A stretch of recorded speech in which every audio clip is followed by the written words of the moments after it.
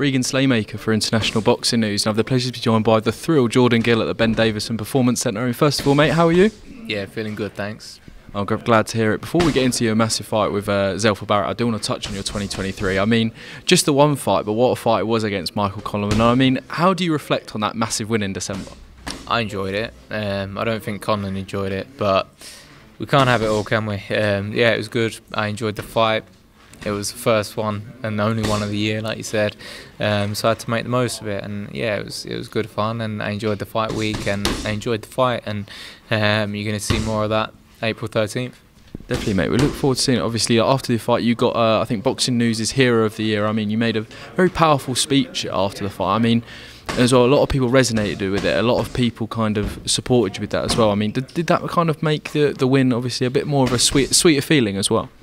Um, I don't know if it could make it a sweeter feeling because it, it, was, you know, it was all on the line for me that night, and I had to win that fight to progress and and um, you know move move forward and I did. So for me, that was that was the icing on the cake. It wasn't all about that. It was wasn't something that I planned to come out and say. But you know, I thought I'd make it clear how hard it was to get to that point to even get in the ring for that fight.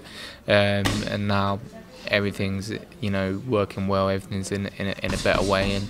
Um, I've had a longer time with, with Ben and Barry and Lee Wiley in, in the performance centre, so um, you're only going to see a better version of me, a, a stronger, sharper, uh, more intelligent version.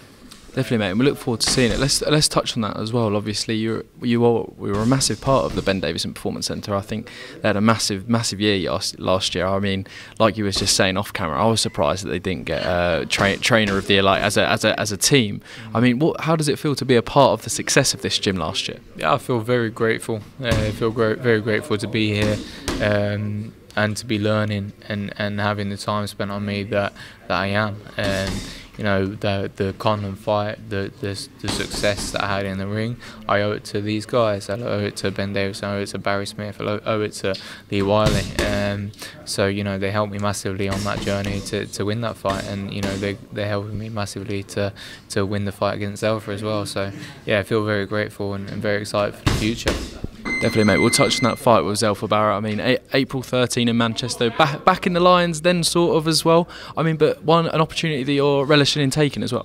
Yeah, for sure. Um, I think it's a great fight. Um, I think that you know I've shown that I'm, I'm not scared of going to the Lions Den. I did did it against Conlan in Belfast. I've got to do it in Manchester to fight Zelfa. So um, it is what it is. It's just a ring. Um, he's going to have more support there than me, I'm sure. Um, but I'm excited. I think it'll be a, a very good fight, and um, the fans can't fight for him. Definitely, mate. As well, why why was Zelfa Barrett the right uh, right fight for you next after such a massive win against Michael Conlan? Uh, I, I think we're just at both we're both at similar parts of our career where we both have aspirations becoming world champion, we both have aspirations of getting a world title shot.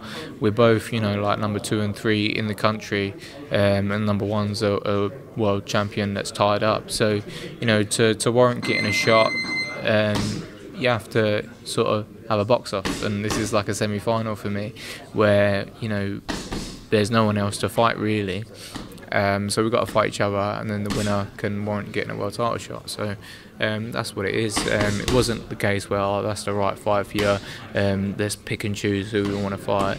It was the case where Jordan, you're fighting Zelfa Barrett, and me saying, "No worries, see you later." Perfect. Do you think a win against Zelfa Barrett confirms that shot against uh, Joe Cordina or, or, another or another world champion in the world? Yeah, I think so. I think even Joe said it himself in an interview. I didn't see it. Someone said um, that um, they asked him about fighting me, and, and he said, "Oh, yes, he doesn't deserve it." Um, after beating Conlan, uh, I tell you what, why don't Jordan go and fight Zelfa, and then I'll fight the winner. So, you know, we are, and then hopefully he, he stays true to his word. Definitely. Well, hopefully I'm going to try and uh, try and interview Joe, so I'll ask him at the end of the week, mate, as well. Before we uh, before we finish, I do want to touch on a, a few things that you do outside of the ring. Um, first of all, you opened your opened your new gym. Congratulations, mate, BoxCross UK. I mean, why was it important to uh, open this gym? Still, still whilst your career is going on, whilst a lot of fighters do this at the end of their career. Yeah, I mean, it was just an opportunity to come up to to open. Um, it was something that I was excited about. It's something that I'm passionate about. It's always good to have other projects on the go. Um, so Yeah, it was just um, an opportunity too good too good to pass up, and you know we've, we've opened it. We opened 9th of December, so a week after the Conlan fight. You know we, we've it's been massively successful. Um, we've got hundreds of members now, um, turning over great money, helping people get fit, helping people, you know, feel better about themselves, um, putting on loads of kids classes, women's classes. You know, we have weights, we have CrossFit, we have boxing, all sorts. So, you know, it's, it's really been an asset to the community, and you know, we was already nominated for. Um, best new startup at Fenland Business Awards. So yeah, it's nice to have the recognition uh, on that side of things, and you know, it's something to, to go into after boxing as well. And, and at the moment, it's keeping me busy pretty much as well whilst I am boxing. So um, there's going to be lots of new developments with the gym um, and other side businesses as well from that. So um, it's all go at the moment. Definitely, mate. Another kind of community project you do alongside is uh, is uh, JG Next Gen as well. You're not for profit as well. I imagine there's a lot of things that kind of work in tandem with your gym there. But how how is uh, JG Next Gen going as well? It's going really well. Yeah, it's going really well. Um, we have a lot of interesting characters come in. Um, we, have, we try and get, get in as much as possible. We do um, a few NEET projects with a few different schools. Um, so NEET is like not in education. Um, so the kids that have sort of been taken out of mainstream, um, say we go in there, we talk to them, we try and boost their self-esteem, boost their confidence, get them talking, communicating in a, in a good way, uh, incorporate with boxing and, and getting them moving and getting a little bit of a sweat on to break down the barriers and, and then get to the root of the problems of, of why they're behaving in an antisocial way. And you know, it's been it's been great. It's been really uh, really beneficial for, for a lot of the kids.